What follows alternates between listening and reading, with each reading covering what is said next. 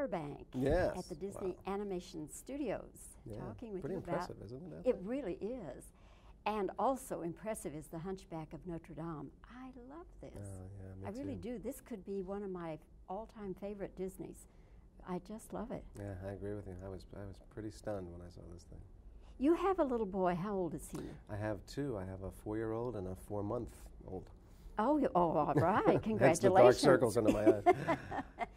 Now, your four-year-old. Do you think he will enjoy this, and will it be too much for him? Um, you know, I can only speak for my four-year-old. For my four-year-old, there would be 70% of this movie he would just be delighted with. And he already knows the music and he loves it and, and he has all the little characters and he plays with them and he knows the story. But my guy is very sensitive to dread. So if he hears a minor chord in the orchestra, he's out of the room. And, you know, the beginning of this movie, before the Disney logo even comes up, that big Gothic choir is singing and it's hallelujah, he'd be gone. He'd be out of the room. So he probably needs another year before he could get all the way through this film. But there would be huge, huge chunks that would just delight him. See, that was my take on it as Mm-hmm. I was watching it, Jason. But then you have to know your own kids. You have to know your kids, and also, you know, th- this is not a departure from anything else really that Disney has done. There's always been the element of, of fear, um, the, the bad guy in all of the films. And the reading that I've been doing is that that is a very important element for kids to have, that there is, a, that there is a, a, something to fear there that gets conquered.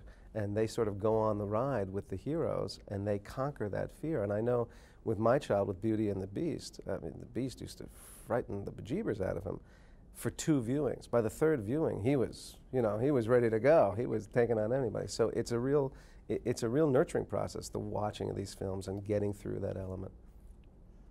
Is there any precedent for one playing a gargoyle? I can't think of one. I had nothing to draw There's on. no gargoyle. school, No, no. In fact, I used to keep, I used to say, what, and they walk around. How do they do that? um, no, there isn't. But uh, you know, they, they certainly give you everything you need to figure out how to do it. They're they're they have thought this through so much by the time an actor gets into the studio, and the drawings are so rich, and the ideas are so rich, that it just falls into place so naturally. And and the secret with Hugo was just having fun. Um, and we quickly got very relaxed in the studio, and it just started to blossom, and it was great fun. So all of you gargoyles got to work together or record no, together? we No? didn't. I never met uh, Mary, rest her soul.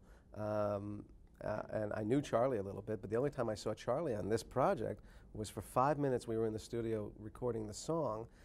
he wasn't recording with me, but we were hearing each other's harmonies, so I had a sense of what he was doing, he had a sense of what I was doing. But nobody, wor- the actors never worked together on these things, probably because schedules are so difficult that you can't get two people in there at the same time. But it, you'd never know that when you watch it. It absolutely sounds like dialogue and interplay, and it's an amazing process. Were you doing Hunchback while you were doing Seinfeld? Or? Mm-hmm. My word. But it's not a for for Hugo. It was not uh, a huge process. I came into the studio, I think, about six times over the course of a year, and was never in there for more than a couple of hours at a time. So it wasn't a huge commitment. How has uh, George on Seinfeld changed your life? Besides making you richer, how has it changed your life? Um, the character himself has, has not really changed my life. The experience of doing that show, uh, in the obvious ways, yes, it, it has certainly led to fame and fortune that we had not anticipated. But um, I've always been lucky enough to be involved mostly with projects that entertain people as opposed to scare them um, uh, or intimidate them. And I have never been able to have something that goes out to such a huge audience that seems to make such a difference in their lives. People, uh, there are people that live and die by this show, and they can quote you every line of every episode, and it is so appreciated that um, that's an amazing thing to have that many people um, touched and affected by something you do is extraordinary, and you can't really do it in movies, and you certainly can't do it on the stage. The numbers are just so uh, massive, and it's global. What's the wildest thing any fan has ever said to you? Uh, well, let's see. I've gotten marriage proposals. I've gotten uh, death threats. I've got.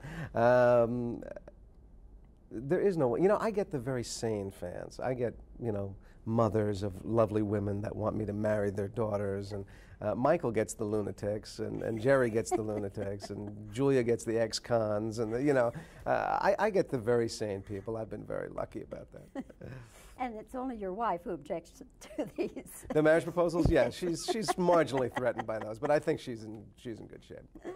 Jason, you're a delight, Thank and you. again, congratulations Thank to you. all of you. The Hunchback of Notre Dame. I just can't recommend it highly Oh, enough. It's just beautiful. Thanks, Thanks. my pleasure. I was thinking about that. I love church architecture. Jason, how nice to be sitting here in Burbank Yes, at the Disney wow. Animation Studios, Yeah, talking with pretty you about. impressive, isn't it? It really is. And also impressive is The Hunchback of Notre Dame. I love this. Oh, yeah, I really too. do. This could be one of my all time favorite Disneys. I just love it. Yeah, I agree with you. I was I was pretty stunned when I saw this thing. You have a little boy. How old is he? I have two. I have a four-year-old and a four-month-old. Oh, oh all right. Congratulations. the dark circles under my eyes. Now, your four year old, do you think he will enjoy this and will it be too much for him? Um, you know, I can only speak for my four-year-old. For my four-year-old, there would be 70% of this movie he would just be delighted with. And he already knows the music and he loves it and, and he has all the little characters and he plays with them and he knows the story.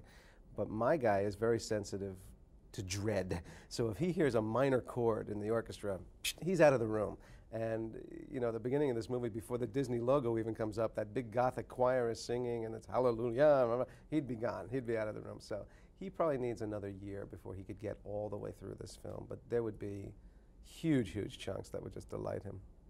See, that was my take on it as I was watching it, Jason. But Mm-hmm. Yeah. then you have to know your own kids. You have to know your kids, and also, you know, th- this is not a departure from anything else really that Disney has done. There's always been the element of, of fear, um, the, the bad guy in all of the films. And the reading that I've been doing is that that is a very important element for kids to have, that there is, a, that there is a, a, something to fear there that gets conquered.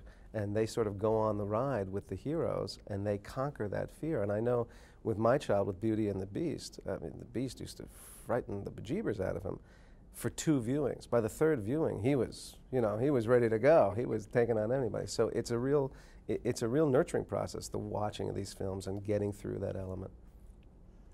Is there any precedent for one playing a gargoyle? I can't think of one. I had nothing to draw There's on. no gargoyle. school, No, no. In fact, I used to keep, I used to say, what, and they walk around. How do they do that? um, no, there isn't. But uh, you know, they, they certainly give you everything you need to figure out how to do it. They're they're they have thought this through so much by the time an actor gets into the studio, and the drawings are so rich, and the ideas are so rich, that it just falls into place so naturally. And and the secret with Hugo was just having fun. Um, and we quickly got very relaxed in the studio, and it just started to blossom, and it was great fun. So all of you gargoyles got to work together or record no, together? we no? didn't. I never met uh, Mary, rest her soul, um, uh, and I knew Charlie a little bit. But the only time I saw Charlie on this project was for five minutes. We were in the studio recording the song. he wasn't recording with me, but we were hearing each other's harmonies. So I had a sense of what he was doing. He had a sense of what I was doing. But nobody, wor- the actors never worked together on these things, probably because schedules are so difficult that you can't get two people in there at the same time. But it, you'd never know that when you watch it. It absolutely sounds like dialogue and interplay, and it's an amazing process. Were you doing Hunchback while you were doing Seinfeld? Or? Mm-hmm. My word. But it's not a for for Hugo. It was not uh, a huge process. I came into the studio, I think, about six times over the course of a year, and was never in there for more than a couple of hours at a time. So it wasn't a huge commitment. How has uh, George on Seinfeld changed your life? Besides making you richer, how has it changed your life?